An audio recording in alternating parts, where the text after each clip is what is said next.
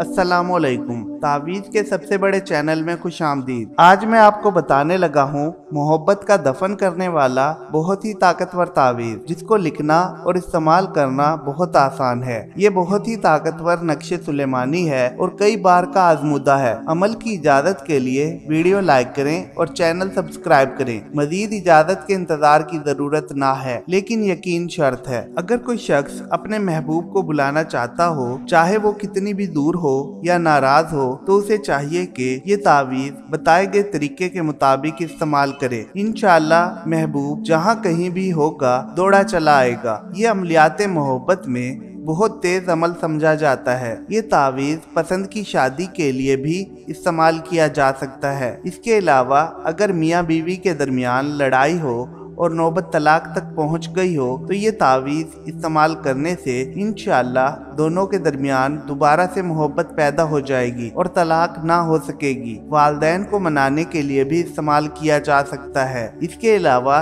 दो लोगों के माबेन झगड़ा खत्म करवाने के लिए भी बहुत मौजू है। मिनटों में असर करने वाला तावीज़ है। इस नक्श को बावजू और पाक साफ़ हालत में किसी सफ़ेद कागज़ पर काली स्याही से तहरीर करें। कागज़ ऐसा इस्तेमाल करें जिस पर कोई लकीर वगैरह ना हो। पहले फला बिन फला की जगह पर लड़के और उसकी वालदा का नाम और दूसरे फला बिन फला की जगह पर लड़की और उसकी वालदा का नाम लिखा जाए। फिर इस तावीज़ को किसी पुरानी कब्र में दफन कर दिया जाए। कब्र में ना दफना सके तो कब्रस्तान के अंदर कहीं भी दबा दिया जाए। तावीज इस्तेमाल करने से पहले हैसियत के मुताबिक कोई भी मीठी चीज़ लेकर बांट दें। इनशाला बहुत जल्द असर नज़र आने लगेगा। इस तावीज को किसी भी चाल से लिखा जा सकता है, लेकिन अगर खाकी चाल से लिखा जाए तो ज़्यादा बेहतर है।